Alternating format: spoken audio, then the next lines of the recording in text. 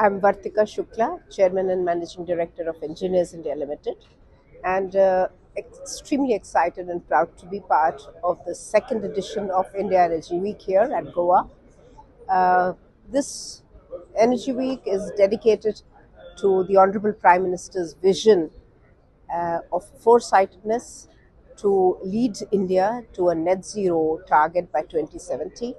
And this entire week, the uh, discussions will be around the transition which is happening in the energy space, the renewable sector which is growing, and the policy and enablers which are required to be there in place uh, for making this to happen at pace which will meet this vision of Honorable PM.